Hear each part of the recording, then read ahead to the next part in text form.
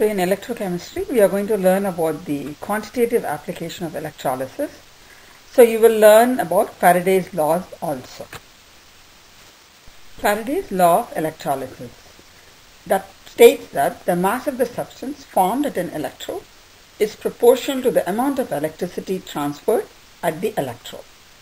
And it also says that the mass of the substance formed at an electrode is proportional to its molar mass and the amount of electric- electricity. So, what do you mean by the, what is the electricity? Amount of electricity.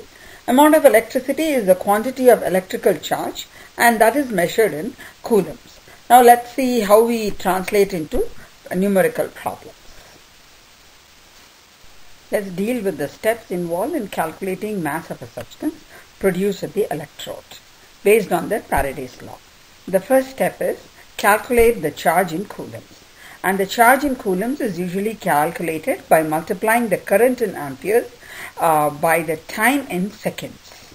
So note down the units. Current should be in ampere, time should be in seconds, and the product of these two is the charge in the unit of coulombs. And the step two is it to calculate the moles of the electron transfer. So for that, remember the relation. One mole of electron is transferred by a charge of 96500 coulombs. And the step 3 is convert these moles of electrons to moles of product formed using the moles of electrons in the cell reaction. So we need the cell reaction for it. And step 4 will be, in case if they have asked about uh, grams of product, convert the moles of the product into grams of product using the molar mass.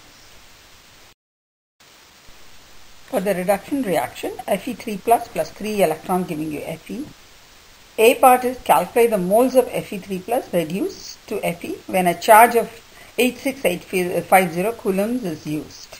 And for the B part, we are asked to calculate the coulombs of charge needed to reduce 0.52 moles of Fe3 plus to the Fe metal. So the, let's start with the A part. So using the um, Faraday's equation, the moles of Fe plus will be equal to uh, we know that one mole of electron is transferred by 96500 coulombs and the amount of charge over here is 86850. So we start with the whatever is uh, given that is 86850 coulombs. So multiplied by 1 mole uh, electron divided by 96500 coulombs.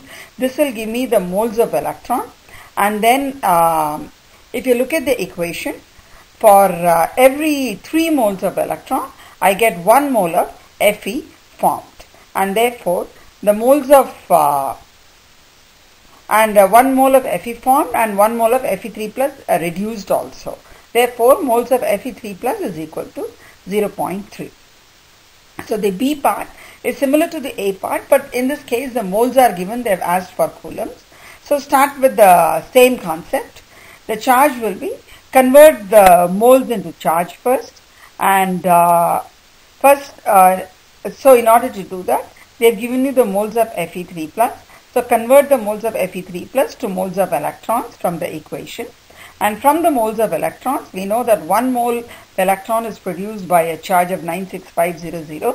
Put it into the equation and I get the charge as 1.5 in coulombs as 1.5 into the power of 5 a current of 3.5 amperes flow through a cell for 14 hours.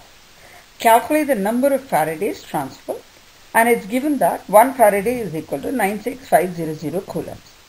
So what is the first thing we do is uh, the, we, uh, the number of Faradays is calculated as given there and we are multiplying the current amperes by the time and the unit of time should be second. Therefore, the current ampere second, the product of ampere second is equal to coulomb. And to this part, if you uh, multiply by the relation between Faraday and coulombs, I get the answer in Faraday.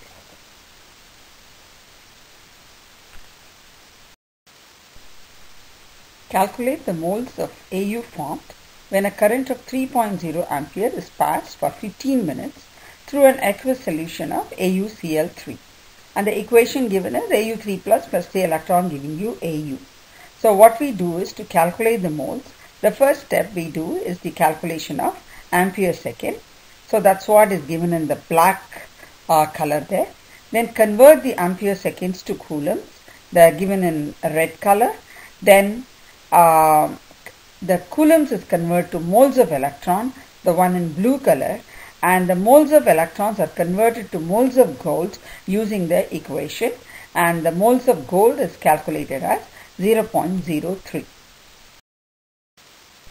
Calculate the grams of copper formed when a current of 2 ampere is passed through passed for 15 hours through an aqueous solution of copper nitrate. This is again similar to the previous one. So from uh, first calculate the amp seconds, from the amp second convert it into coulombs, and from coulombs calculate the moles of electron, and from moles of electron get the moles of copper. And uh, the number of electrons tra- uh, transferred will be 2. That's why we have 2 moles of electron there and the copper moles comes as 2.2 and we know that uh, by multiplying by the molar mass I can get the grams of copper that comes as 139.7. Calculate the current in amperes needed to pass through a solution of silver nitrate for 1.8 hours to produce 55 grams of silver metal. So it's similar to the previous question, but in this case they have asked you for how much of current we need. So we need the amount of uh, current. Therefore start with what is given now. They have given you 55 grams of silver. So convert the 55 grams of silver to moles of silver. Then from the moles of silver, converted into moles of electron. And the moles of electron is then converted into coulombs. One, and we know that the relation between coulombs and amp second and one coulomb is one amp second and then from the amp second converted into uh, amperes by dividing it by the uh, time in seconds. So the final, if you cancel all the units, the final answer will be in the unit of amperes and the current we get are 7.59 amps.